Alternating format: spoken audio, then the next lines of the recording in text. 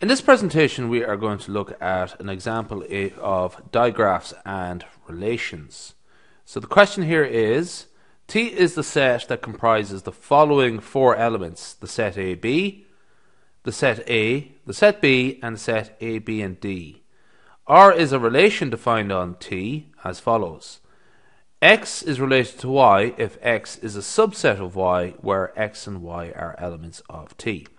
Draw the relationship digraph for R on T and say with reason whether or not this relation is reflexive, symmetric, transitive, or a partial order.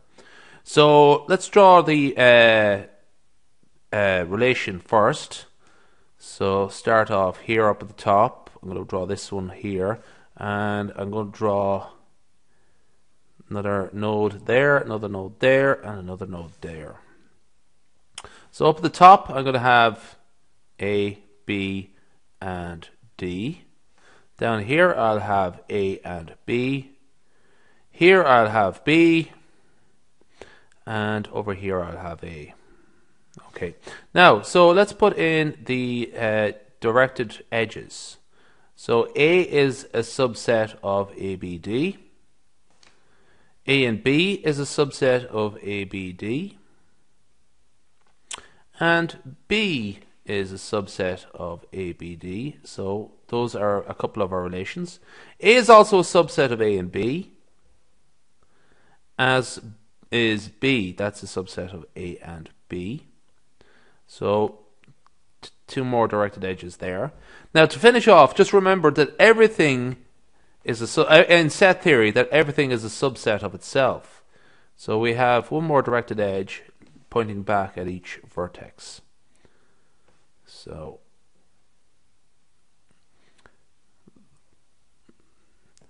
So A is a subset of A, AB is a subset of AB, ABD is a subset of ABD, and B is a subset of B. Okay, so that's our directed graph, our digraph. Now what we have to do is decide if it is reflexive. Well, I'm actually already after answering that one already. Uh, the reason is that every first off, every node here has an uh, has an edge directed back at itself. Okay, and again, as I just said there previously, everything is a subset of itself in set theory. So in this case, it is reflexive. Okay, now is it symmetric? So if x is a subset of y, is y necessarily a subset of x? In that case, it would be symmetric. Well, A is a subset of A and B, but A and B is not a subset of A. Likewise, in every other sort of pairing, we the, the relationship only works one way. So in this case, we do not have a symmetric relationship. If one is a subset of the other, it doesn't necessarily work in reverse. Not necessarily work in reverse. Um, so is it transitive? So if a, now let's just sort of disregard the fact that A is a subset of ABD directly. So let's just disregard this edge for a minute. A is a subset of A and B, and A and B is a subset of ABD. Does that make A a subset of ABD? Yes, it does. Likewise, for every other sort of way you can look at it, B is a subset of A and B, and A and B is a subset of ABD. So this relationship is transitive. Okay, so it's symmetric. It's not symmetric but it is reflexive and transitive. Now, we are asked to find out one more thing. Is it a partial order? So I'm just going to go to the next page here for a second.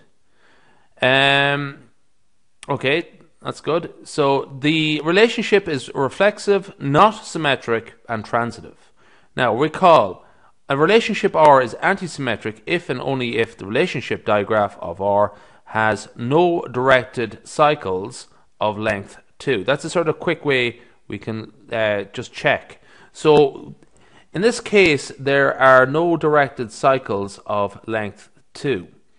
So uh, a directed cycle has to be uh, has to begin and end at the same uh, node. Just sort of let's put in just sort of counter example of what a directed cycle of length two would look like. Um, um, just disregard. That's not a um, so we have a this one here, this directed edge here, and another edge that will go back. That would be a directed a cycle of length 2. So there are actually none of those in the um, there are actually none of those in the digraph, so we don't have any. Um, uh, so we can say that the oops that we can say that the relationship is symmetric.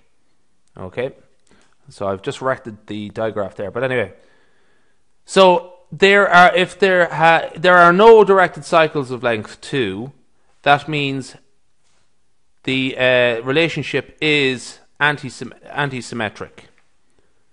Oops, I'll start that again. That the relationship is anti-symmetric. Also.